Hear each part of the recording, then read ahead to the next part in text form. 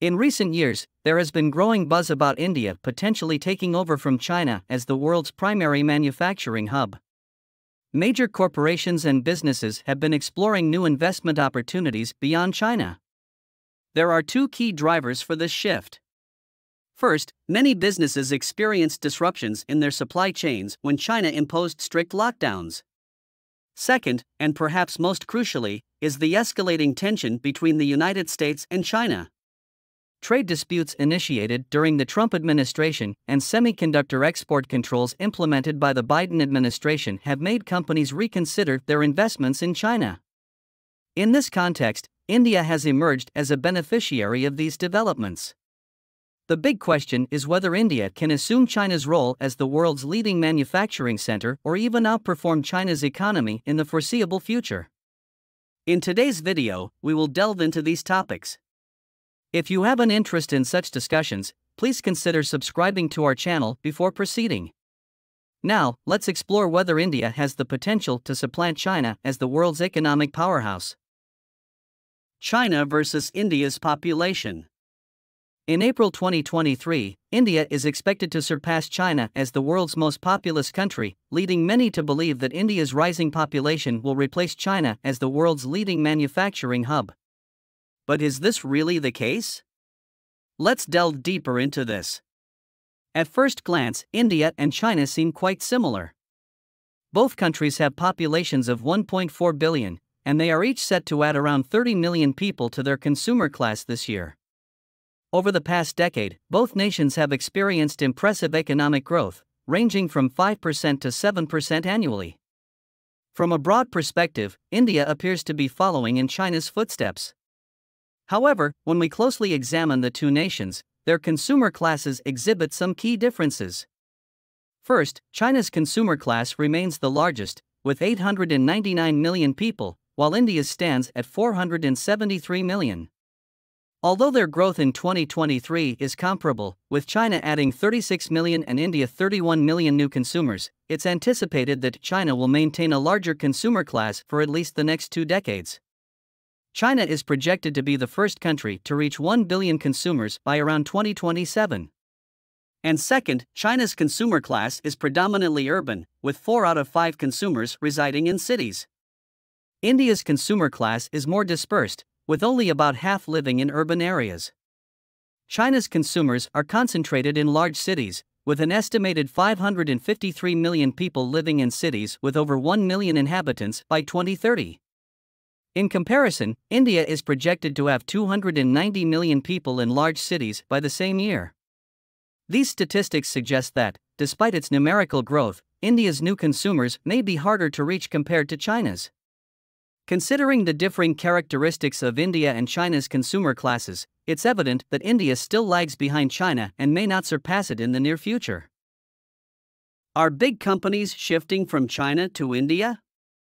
Even though people have been talking about India as a land of great opportunities, we're not seeing many big companies from around the world moving their production to India, or local companies investing a lot more to take advantage of this growth. Instead, India's economy is still having a hard time recovering from the pandemic. When we look at what's coming in the future, it doesn't look much better.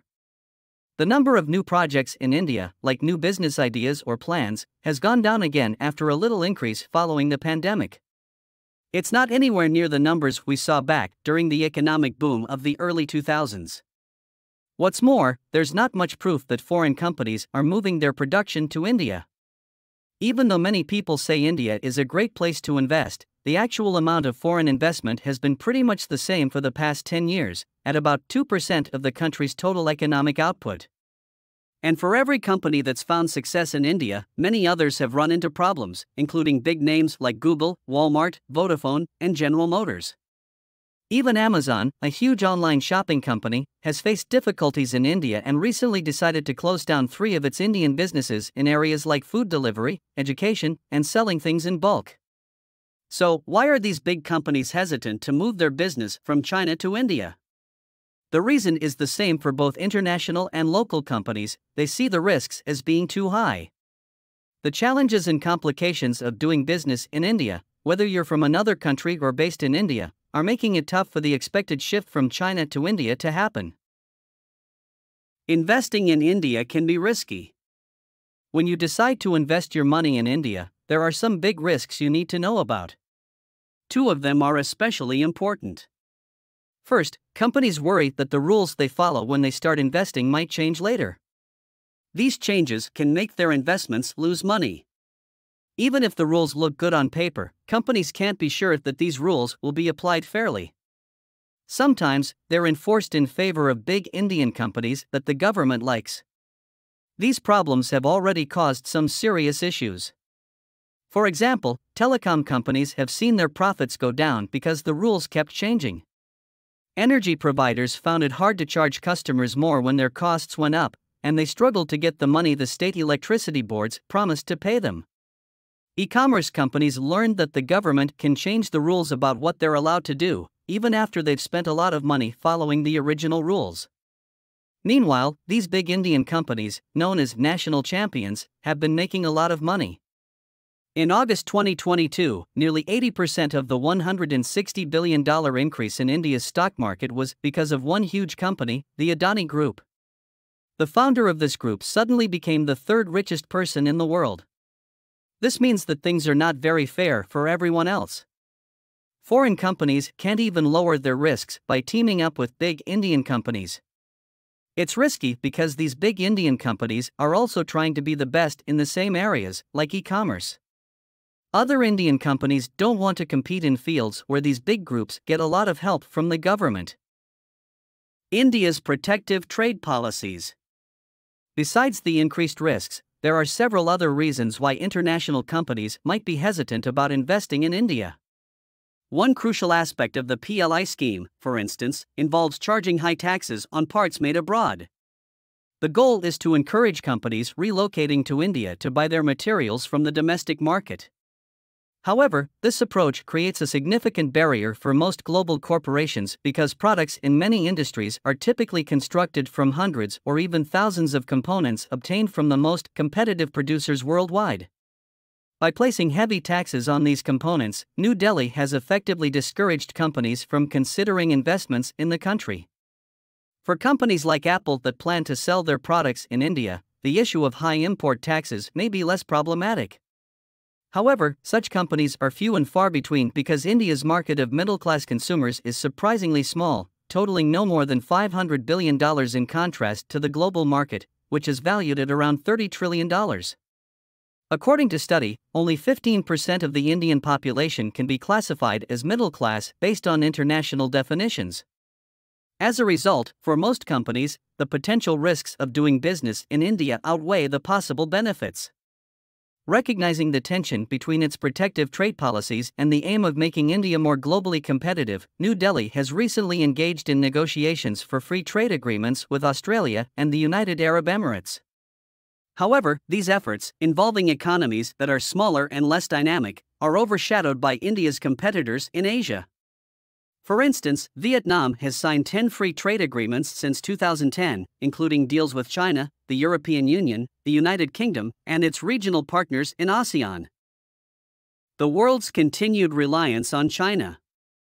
China remains the central hub of global value chains, maintaining its status as the leading trading partner for over 120 countries, including prominent nations like Japan, South Korea, and Vietnam. Additionally, China holds the position of the European Union and ASEAN's largest external trading partner. India itself relies significantly on China, with over a quarter of the value in Indian exports being attributed to Chinese contributions. This was not the case at the beginning of the century. India's dependence on China has grown substantially over the past two decades. Surprisingly, this dependence has continued to rise even as Indian troops have been engaged in tense standoffs with China due to the border clash, despite the Indian government's talk of achieving self reliance. Due to the pandemic disrupting global supply chains and the escalating tension between China and the United States, many multinational companies are considering shifting parts of their production operations away from China. However, diversification comes with its challenges, and it's neither a simple nor cost effective process. The economic challenges posed by the pandemic have left many companies short of funds, making it difficult for them to invest in other countries immediately. In the short term, it remains a complex task for India or any other large economy to disentangle itself from its dependence on China. After going through all these data and information, do you think India can replace China as the world's factory? Or that India's economy is able to surpass China in the near future? The answer is clear. While India certainly possesses significant potential, surpassing China in terms of manufacturing and economic prowess may not be feasible, at least not in the near future. If you find this content engaging, please consider clicking the like button to express your support. Moreover, don't forget to subscribe to our channel to stay updated with fascinating videos on the developments in Asia.